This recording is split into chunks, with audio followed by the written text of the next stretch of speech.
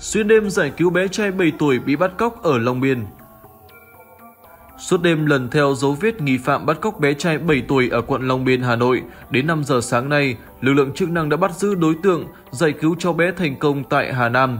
Khoảng 5 giờ ngày 15 tháng 8, Công an quận Long Biên phối hợp với Phòng Cảnh sát Hình sự Công an thành phố Hà Nội đã bắt giữ thành công nghi phạm bắt cóc bé trai 7 tuổi, đòi tiền chuộc 15 tỷ đồng. Nghi phạm gây án là Nguyễn Đức Trung, sinh năm 1992, quê ở Tam Dương, Vĩnh Phúc. Trước đó khoảng 19 giờ ngày 14 tháng 8, đội cảnh sát hình sự công an quận Long Biên tiếp nhận tin báo của vợ chồng anh Nguyễn Xuân Chiến và chị Đào Thanh Huyền, trú tại phường Việt Hưng, quận Long Biên, về việc một đối tượng gọi điện thoại cho biết đã bắt cóc con trai họ là cháu NHP, sinh năm 2016 và đòi tiền chuộc.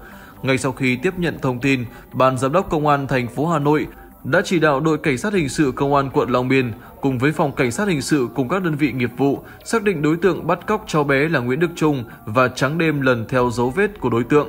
Thiếu tướng Nguyễn Thành Tùng, Phó Giám đốc Công an thành phố Hà Nội trực tiếp chỉ đạo và cùng các lực lượng phán theo sát các dấu vết di chuyển của đối tượng, liên tục ra soát. Dạng sáng ngày 15 tháng 8, Công an thành phố Hà Nội phối hợp với Công an tỉnh Hà Nam đã xác định được nơi đối tượng Nguyễn Đức Trung đang ẩn náu cùng cháu bé. Lập tức, lực lượng công an triển khai phương án vây bắt.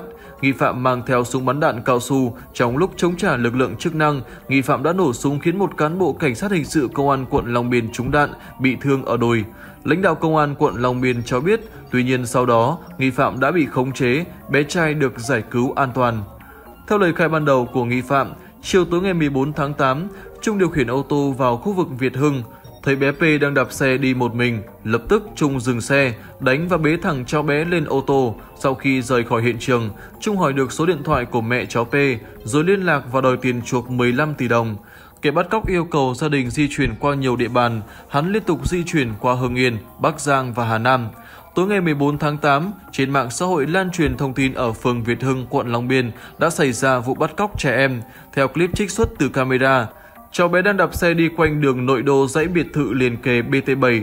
Khi cháu dừng xe, thì ô tô Kia Morning biển kiểm soát 29A236XX đỗ song song.